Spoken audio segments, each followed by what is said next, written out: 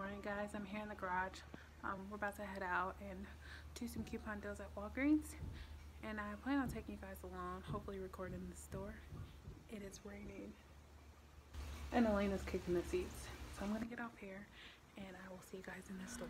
All right guys we are back home. Sorry i did not record in walgreens but I had decided to go to a different Walgreens um, that just opened and there was a lot of higher up people in there so I did not want to record and get in trouble but here's the deal I did. Um, I'm recording Alaina. So you're gonna get two of the CoverGirl mascaras. Um, they're I do believe 6.29 at my store.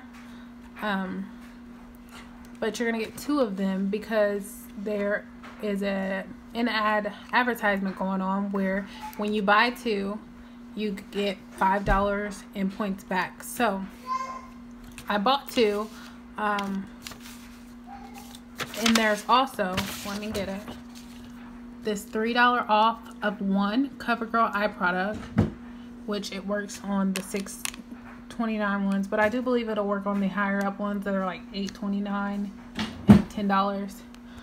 Um, but you want to get the cheapest one which is 6.29 for me so you got I got two of those used two of these printable coupons from coupons.com and got three dollars off. And it will come out to like four something. But guys I got like the best deal ever because since it was a new store I kept complaining because um, my 25% off will not attach and it's 25% off anything that's regular price. And for some reason it just would not attach for me so um, I kept complaining. I was like you know what? Just give me my coupons back. I'll go to the other Walgreens because I just don't want to mess up my points.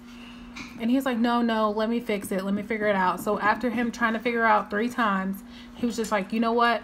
Just pay taxes. Um, not taxes but I paid 29 cents a piece for them which is um, pretty much what I would pay after my points. Maybe for like four dollars and um, ninety nine I do believe. And then I would have used four dollars worth of points and then paid the dollar.